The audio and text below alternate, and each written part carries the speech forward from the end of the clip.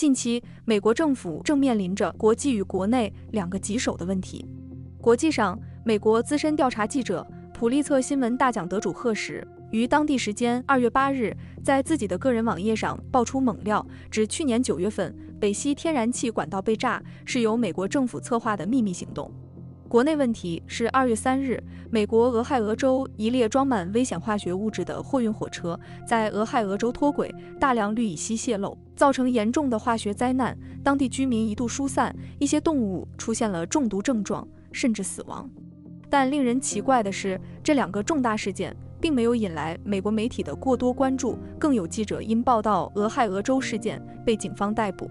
反倒是中国的一只民用流浪气球，在美国舆论场引起轩然大波。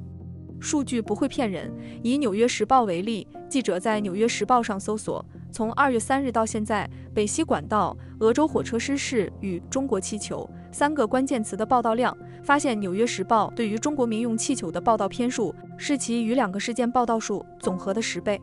三起事件在美国本土网络上的关注度上，中国民用气球也力压其余两个事件。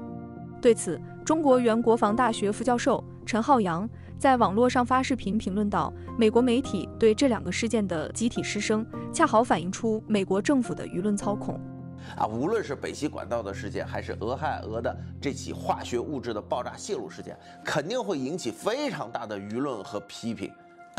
这个却恰恰是美国政府不愿意看到的，因为它不利于美国的形象，不利于美国现在的政府。”所以啊，在过去长达一周多的时间，美国新闻媒体报道的却都是其他的一些事情，比如一个根本没有任何威胁的民用气球，却长时间能占领美国国内舆论的主要内容。这个就是美国的舆论导向，这个就是美国的新闻控制。美国民众被成功的转移了注意力，拜登政府也成功的那些不利于美国政府的负面新闻跟消息给淡化处理了。这个。就是美国的舆论和控制能力了。